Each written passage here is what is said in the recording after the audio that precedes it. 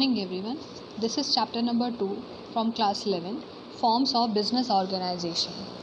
First is meaning A business enterprise is an institutional arrangement to form any business activity. किसी business activity को करने के लिए business enterprise बनाया जाता है एक इंस्टीट्यूशनल अरेंजमेंट होता है on the basis of ownership हम इस बिज़नेस एंटरप्राइज को क्लासिफाइड करेंगे डिफरेंट कैटेगरीज में पहला है private enterprise then public enterprise and third one is joint sector enterprise private enterprise किसी भी प्राइवेट फॉर्म का होता है, जिसमें जो ऑनरशिप है, वो एंटरप्राइज से सेपरेट होती है।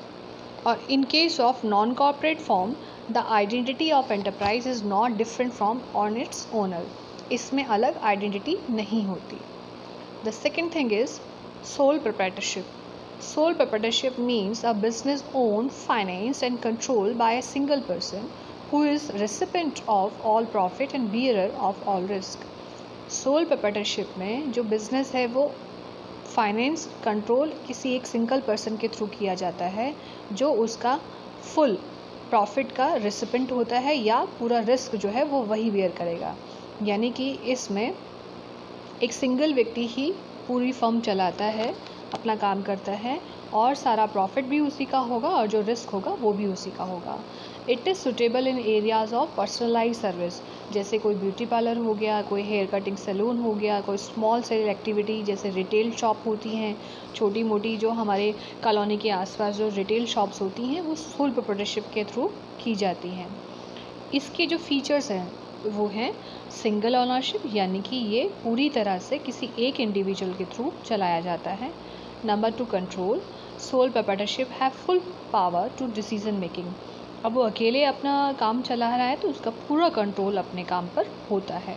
नो सेपरेट लीगल एंटिटी इसमें काम करने वाले, यानी जो बिज़नेस मैन है और बिज़नेस के बीच में कोई डिफरेंस नहीं होता। यानी कि यहाँ पे एक ही व्यक्ति है बिज़नेस मैन भी और बिज़नेस भी एक ही व्यक्ति के थ्रू किया जा रहा है।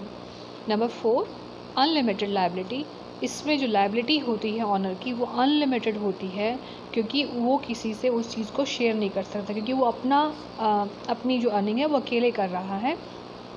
अपने आप अपने बिज़नेस को रन कर रहा है तो यहाँ पर उसकी जो लाइबिलिटी है वो पूरी बनती है किसी से शेयर नहीं की जा सकती। अनलिमिटेड का मतलब है यहाँ की यानी कि सारी ज़िम्मेदारी उसकी खुद की होती है। तो अगर उसका बिज़नेस कभी कर्ज में हो या कोई लॉस हो जाए तो उसको सारा बियर करना पड़ेगा। इवन अपने डेब्ट्स को चुकाने के लिए, अपने कर्ज को चुकाने के लिए उन्हें अपनी पर्सनल प्रॉपर्टी भी अगर बेचनी हो तो वो भी वो सेल करेंगे। नो लीगल फॉर्मेलिटी इस तरह के बिज़नेस को करने के लिए कोई लीगल फॉर्मेलिटी की ज़रूरत नहीं होती। Number six is sole risk bearer and profit recipient तो यहाँ पर ही bears the complete risk and there is nobody to share profit और लॉस विद हिम यहाँ पर जो बियरर है, यानी कि जो सोल प्रोपरेटर है, वो किसी से भी अपना प्रॉफिट या लॉस शेयर नहीं करता। इसके कुछ फ़ायदे भी हैं जिन्हें हम मैरिट्स का नाम देते हैं।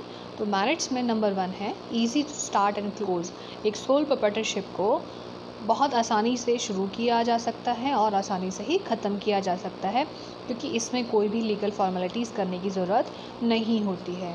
दूसरा फ़ायदा है कि क्विक डिसीज़न मेकिंग एक सोल ट्रेडर को किसी से कंसल्ट करने की या इन्फॉर्म करने की कोई ज़रूरत नहीं होती, सारे डिसीज़न वो खुद से ले सकता है।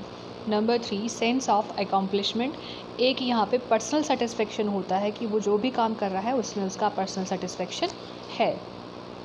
नंबर फोर अनलिमिटेड लाइबिलिटी तो अनलिमिटेड लाइबिलिटी में यहाँ पर जो एसेट्स हैं वो अगर पूरी नहीं होती हैं तो उसको वो अपने डेब्ट्स को चुकाने के लिए एसेट्स भी सेल करनी होंगी।